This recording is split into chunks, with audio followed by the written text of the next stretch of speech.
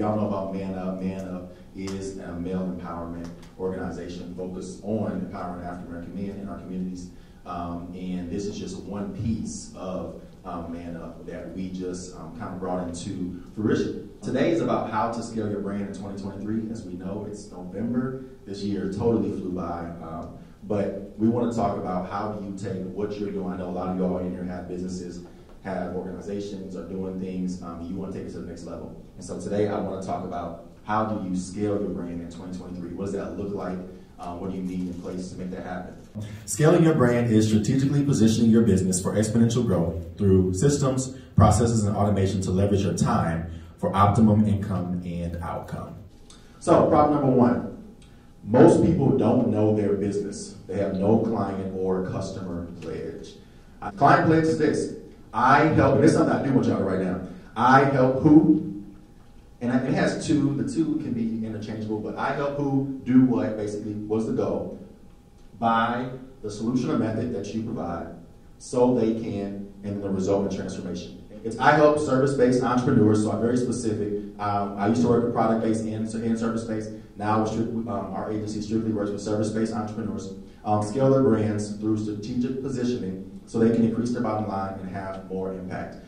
Before the scale, um, I put the slide together because I know a lot of individuals, they just want to jump into like scaling. Target audience. Again, I have the homework up here in the corner because this is going to be homework. If you don't um, already, if you haven't already done this for your business, you definitely need to do this for homework. Um, narrow your focus.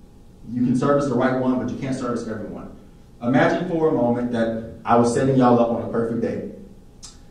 You would ask, I would ask you, what's your type? If you say you prefer someone that has no kids and lives in Florida, this means everyone that is outside that scope better not hit you up, right? Because you don't, you know, especially if you're like long distance, why in the world would you, you know, try to try to go for that person? It's the same way when discovering your target audience for your business. There's a group of people that will align with your checklist. And on, and on the target audience checklist, I have um, different demographics that you all, I want you all to touch on. Um, this group of people is your target audience, the people you want to market your product to. Now find them and introduce them to their to, to the to solution to their problem. Number two, products and services. Um, the, you always got to go through this. Like, you have to know what your product and services are, what problem they solve, what the solution your product offers, what experience it gives your customers, and a tagline. And then number three, your transformation process. So what was your client before and what is their after? And this is something I always come, like, when your clients come to you, what are they struggling with? What are they feeling? Like, what prompted them to make the change and take action?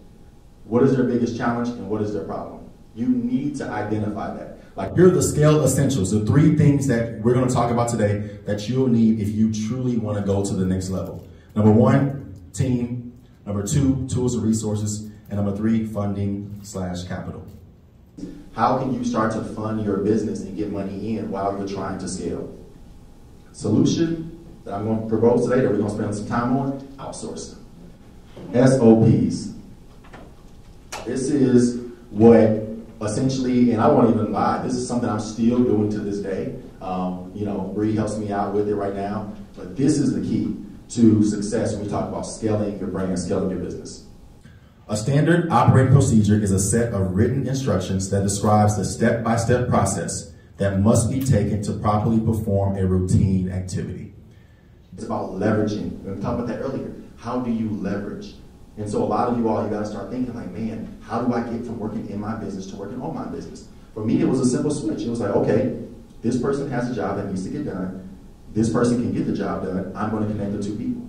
So connecting, knowing how to leverage your time, leverage your words, that is what successful people do. Talk about Amazon, talk about all these things. That's what they're doing. And so, again, in your business, how do you do that? What does that look like? You know, start thinking through these ideas. Oh, next steps. Um, I'm gonna send out these slides. Bree's gonna get them together for me.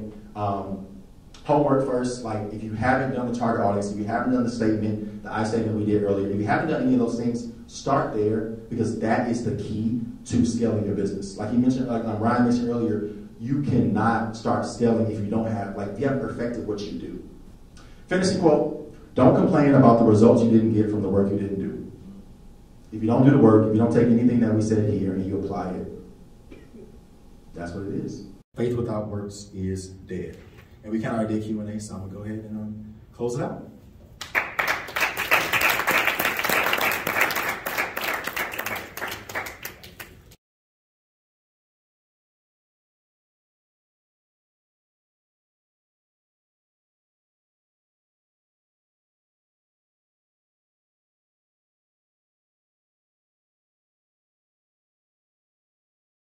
so we all can eat, and then we can go after bigger projects and we can do things together.